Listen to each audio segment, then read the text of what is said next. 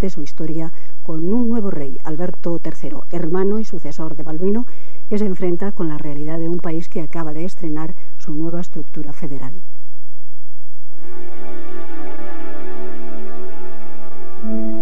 Tenía nombre de caballero cruzado y la mirada melancólica y triste del niño huérfano que fue. Fue el rey más joven de su tiempo y ha muerto siendo el monarca más veterano del mundo. Su largo reinado no ha tenido más objetivo que el de hacer de Bélgica una auténtica nación por encima de las diferentes y a veces antagónicas comunidades que la forman. Austero, coherente, fiel a sus principios profundamente religiosos, Balduino I, rey de los belgas, ha pasado por la vida como de puntillas, discreto y silencioso, pero nadie puede decir que su obra haya sido en vano.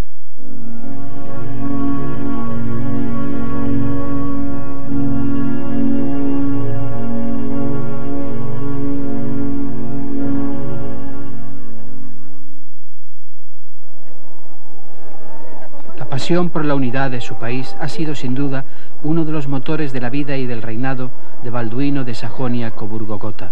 Por eso, su discurso del último 21 de julio, Día Nacional de Bélgica, dirigido en francés y flamenco a todo el país por televisión, puede considerarse su testamento político. Ce qui importe maintenant, c'est de faire fonctionner au mieux les nouvelles institutions. Cela nécessitera de la part de tous les responsables un esprit de conciliation, de bonne volonté, de tolérance et de civisme fédéral. C'est ce que souhaite la très grande majorité de nos concitoyens qui est opposée à toute forme de séparatisme.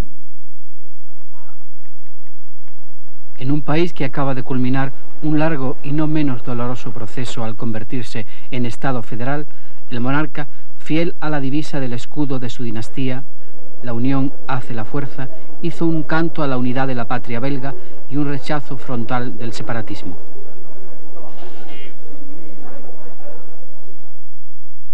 Tras la celebración del día de la fiesta nacional de su país, el rey Balduino y su esposa, la reina Fabiola, se trasladaron como cada año desde hacía más de 20 a su casa del sur de España, en Motril.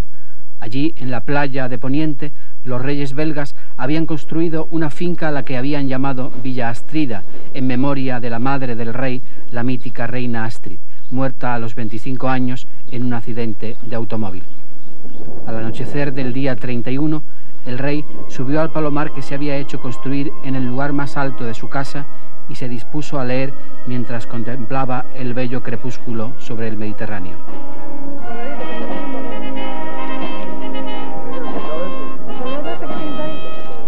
Cuando a la hora de la cena no acudió al comedor, la reina Fabiola, intranquila, subió a buscarle y le encontró muerto, con los ojos abiertos, aún deslumbrados por el hermoso paisaje.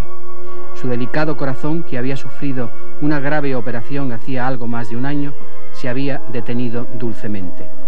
Con la misma discreción con la que había vivido, Balduino ha dicho su adiós a la vida.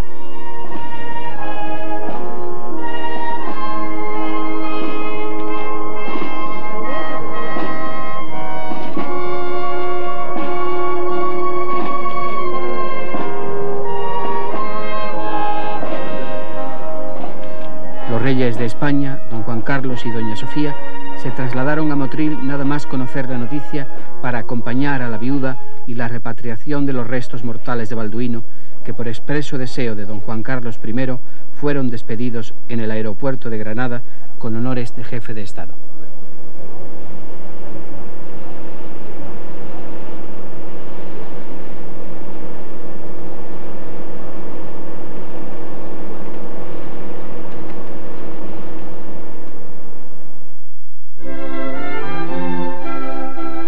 Acaban de cumplirse 42 años de la subida al trono de Balduino I en unas dramáticas circunstancias que obligaron a la abdicación de su padre, el rey Leopoldo III.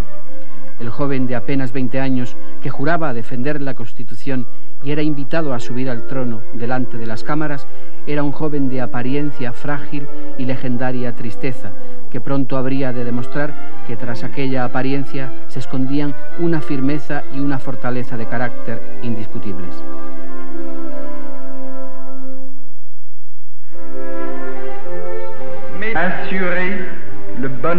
De la.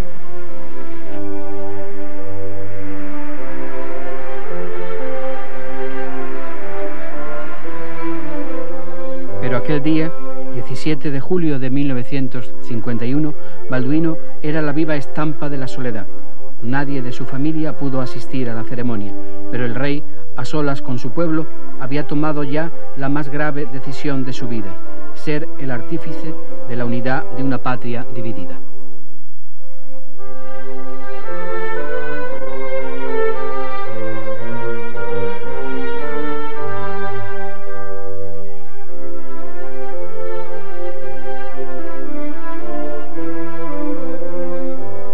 Balduino se convertía así en el quinto rey de Bélgica, una tierra de paso en el centro de Europa con una historia accidentada que había seguido los destinos de sus dominadores, España, Francia, Holanda, defendiendo a duras penas su independencia hasta que en 1830 la revolución contra Holanda había dado origen al nacimiento de una nueva nación para la que el equilibrio político de las potencias entonces dominantes, Inglaterra, Francia y Prusia, no se quiebre, es elegido rey el hijo del duque Francisco de Sajonia-Coburgo-Gotha, Leopoldo, titulado primero rey de los belgas y no de Bélgica, para significar el carácter parlamentario de su magistratura.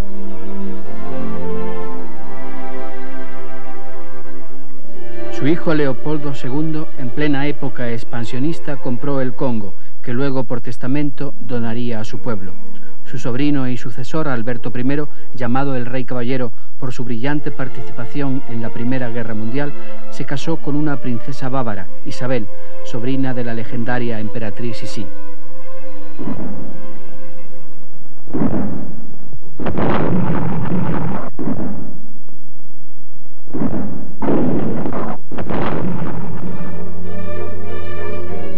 Balduino había nacido en Bruselas el 7 de septiembre de 1930. Su nombre fue elegido escrupulosamente entre la leyenda de su pueblo, los balduinos condes de Flandes, caballeros de la primera y segunda cruzadas, que fueron reyes de Jerusalén y emperadores de Constantinopla. Al mítico nombre se añadieron los de Alberto, Carlos, Leopoldo, Axel, María, Gustavo. Era hijo del entonces príncipe heredero Leopoldo y de una hermosa princesa sueca que había enamorado a los belga, Astrid.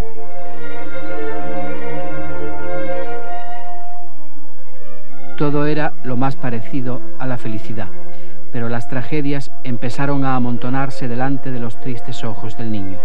En 1934, su abuelo, el rey Alberto, fallecía en un accidente de alpinismo. Al año siguiente, es su propia madre, la bella Astrid, la que muere en un accidente de automóvil mientras conducía su propio padre.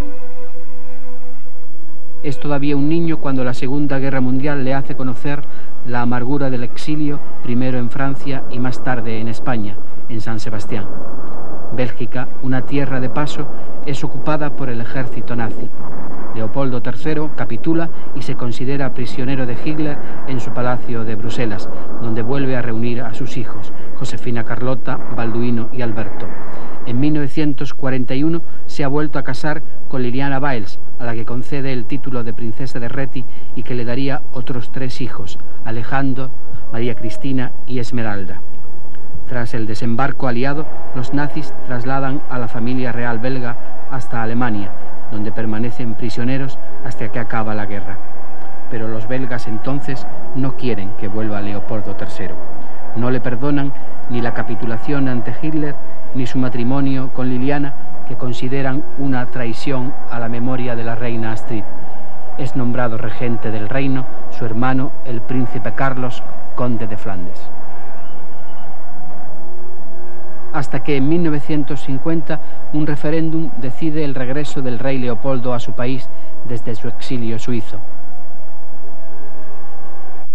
No obstante, los incidentes no dejan de sucederse y aquel mismo año Balduino es nombrado lugarteniente del reino hasta que el año siguiente Leopoldo abdica finalmente retirándose a un segundo plano. Durante diez años, Balduino se enfrenta a un complicado panorama político con dos comunidades, la flamenca de lengua neerlandesa y la valona de expresión francesa, frontalmente enfrentadas y a la que se añade una minoría germanófona. No solo están los enfrentamientos lingüísticos y culturales, está también una industrializada Valonia con una importante fuerza social y sindical y un Flandes de carácter agrícola y de catolicismo exacerbado. Assurer dans le cadre d'institutions rénovées une collaboration loyale entre flamands et wallons, répondre aux désirs légitimes d'autonomie et de décentralisation dans divers domaines de la vie publique, tout cela est réalisable.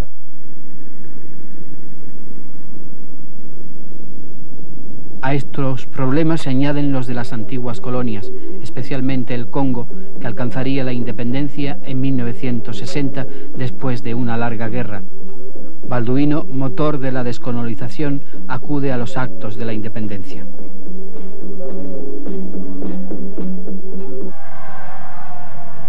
Entonces ya se han cimentado la leyenda de su melancolía y su tristeza. Incluso se habla de sus intenciones de abdicar y entrar en un monasterio trapense. Amante de la astronomía, de la botánica y de la música, Balduino es continuamente objeto de especulaciones sobre su matrimonio.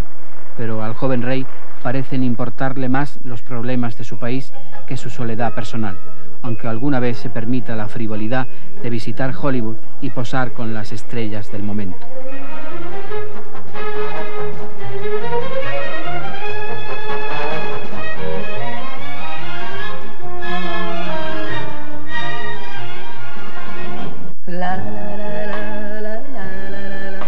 En 1959, su hermano menor, Alberto, príncipe de Lieja, se casa con la princesa Paola Rufo di Calabria, una italiana de belleza digna de Botticelli y a la que el cantante Adamo dedica una canción.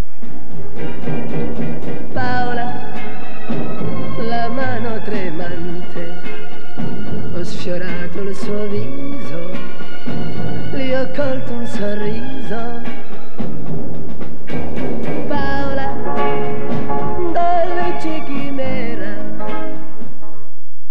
Pero inesperadamente, en septiembre de 1960, se da a conocer el compromiso matrimonial del rey Balduino con una desconocida aristócrata española, Fabiola Mora y Aragón, hija de los marqueses de Casarriera y condes de Mora.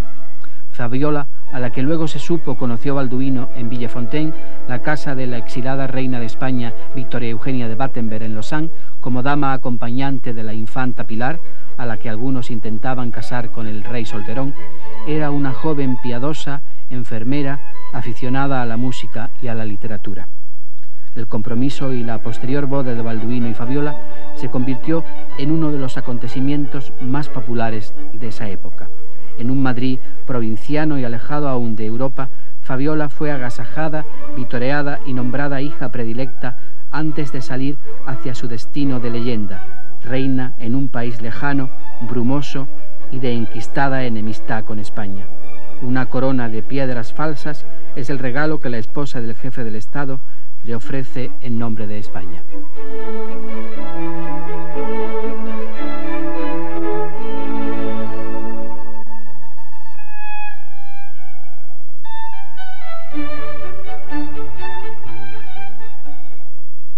En Bruselas, el pueblo belga parece haber recuperado el amor por la reina Astrid para depositarlo a los pies de Fabiola.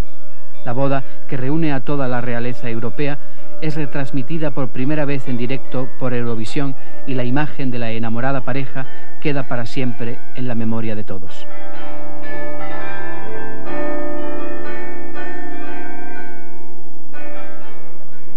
Veinticinco años más tarde, en 1985, los soberanos belgas celebran sus bodas de plata con una multitudinaria recepción en la que se muestran lo mismo de enamorados y unidos que el primer día.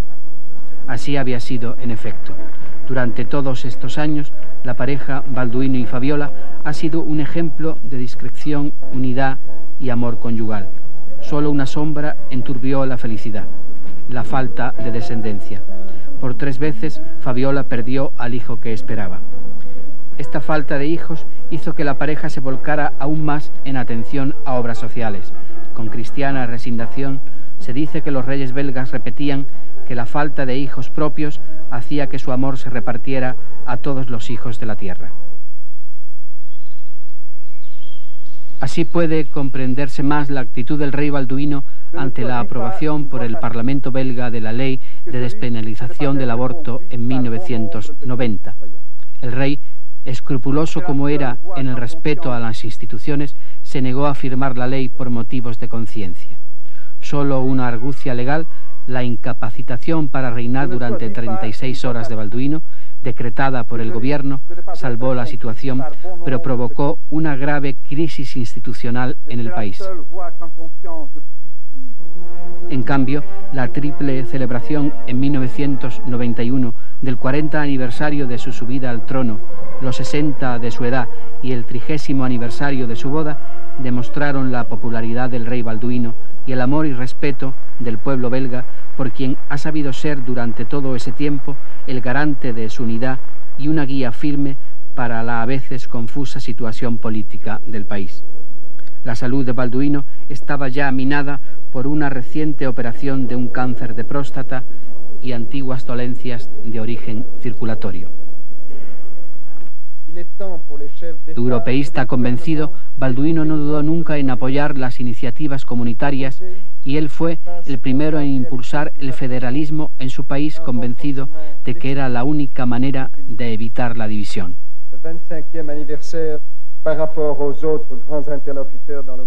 A pesar de todo, un escalofrío de angustia ha recorrido amplios sectores de Bélgica ante la repentina, aunque esperada muerte del rey.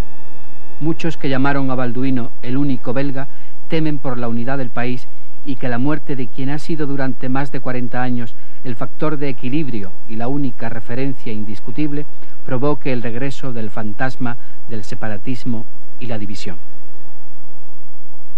Por eso, a pesar de que por la falta de sucesores directos de Balduino y Fabiola se había especulado en los últimos años sobre la posibilidad de que fuera el príncipe Felipe, sobrino de Balduino, el llamado a sucederle, se ha optado por ser absolutamente respetuosos con el orden dinástico y el constitucional, y que sea el príncipe Alberto de Lieja, el hermano del rey, el llamado a sucederle.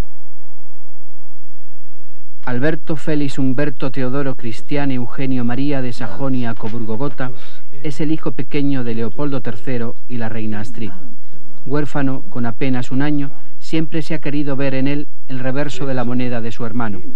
Extravertido, moderno, mujeriego y aficionado a los coches, casó con la hermosa Paola, una belleza latina, rubia y temperamental.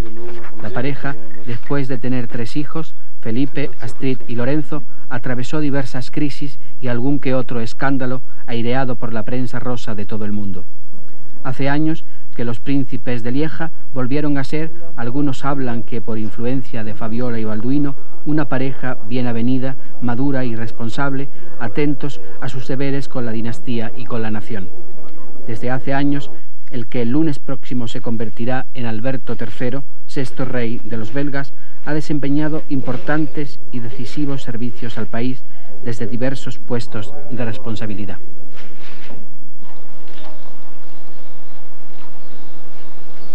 El duelo y las manifestaciones espontáneas de dolor de los belgas por su soberano y el unánime reconocimiento a su labor como rey de todos los belgas ha despejado un tanto las inquietudes de los más alarmistas.